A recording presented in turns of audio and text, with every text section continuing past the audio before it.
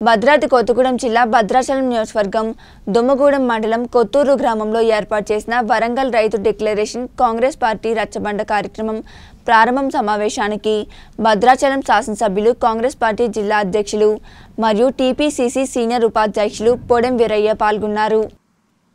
అఖిల భారత రైతు కూలీ సంఘం ఏఐకేఎంఎస్ జిల్లా నాయకులు గద్దాడ సూరిబాబు మేలిమి రాముడు మాట్లాడుతూ కేంద్ర ప్రభుత్వం గ్రామీణ ఉపాధి హామీ పథకాన్ని నీరు కార్చే విధంగా రెండు పూటల పద్ధతి తీసుకువచ్చిందని రెండు వందల యాభై రూపాయల కూలీ రావాల్సి ఉండగా రెండు వందల రూపాయలు మాత్రమే ఇస్తున్నారని అన్నారు. వేసవి కాలం ముప్పై శాతం బోనస్ రద్దు చేశారని మజ్జిగ మంచినీరు పనిముట్లు ఇవ్వకపోవటం వికలాంగుల గ్రూపుని రద్దు చేయటం రెండు మూడు వారాల కన్నా ఎక్కువ పని చెప్పకపోవటం కూలీ తగ్గించి పని పెంచితే పథకాన్ని రద్దు చేసే ఆలోచనలో కేంద్ర ప్రభుత్వం ఉందని మండిపడ్డారు. రాష్ట్ర ప్రభుత్వం ఎప్పటికైనా రెండు వందల రోజులు పని దినాలు కొనసాగించాలని ఆరు వందల రూపాయలు కూలీ ఇవ్వాలని ప్రభుత్వాన్ని డిమాండ్ చేశారు.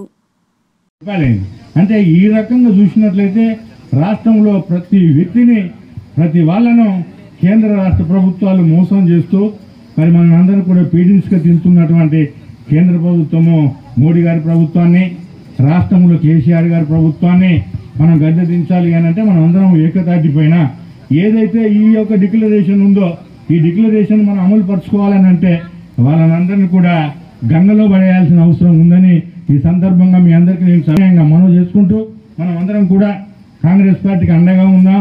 కాంగ్రెస్ పార్టీ దేశానికి ఈ రాష్ట్రాన్ని అన్ని కూడా చేసిన పార్టీ కాంగ్రెస్ పార్టీ.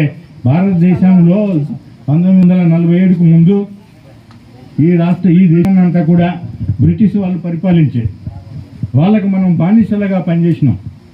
రైతులకు రైతులకు మేలు జరిగే కార్యక్రమాలన్నీ కూడా కాంగ్రెస్ పార్టీ చేసేటందుకు రేపు వచ్చే గవర్నమెంట్ మనమే కనుక తప్పకుండా మీరందరూ కూడా బాగా ప్రతి ఇంటికి ప్రతి అక్కకు ప్రతి అన్నకు మనందరం కూడా రైతు బిడ్డలమే. రైతు లేకపోతే రా- మన దేశమే లేదు.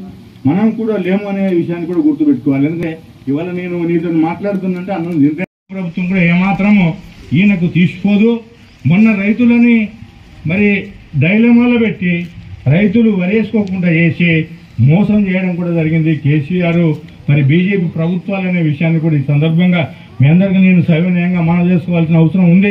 వీరందరూ కూడా ఇవన్నీ కూడా మన అన్నలకు మన చెల్లెళ్ళకు అన్ని వర్గాల ప్రజలకు మేలు జరిగే కార్యక్రమాలు ఉంటాయి. తప్పనిసరిగా కాంగ్రెస్ పార్టీ అధికారంలోకి వస్తుంది. తప్పనిసరిగా మీరందరూ నన్ను గెలిపిస్తారు అత్యధిక మెజార్టీ తోటి ఇక్కడ నుండి తప్పకుండా మంత్రివర్గంలో ఉంటాం. ఇక్కడ ఉన్నటువంటి వాళ్ళకు అందరికీ కూడా పోడు భూములకు పట్టాలు ఇవ్వడమే కాకుండా మన గవర్నమెంట్ వచ్చిన వెంటనే నేను కూడా మంత్రిగా ఉంటా కనుక ప్రతి వాళ్ళకు మరి ఇందిరమ్మ బోర్ల మరి ఎలక్ట్రికల్ సిటీ అన్ని తీసుకునే విధంగా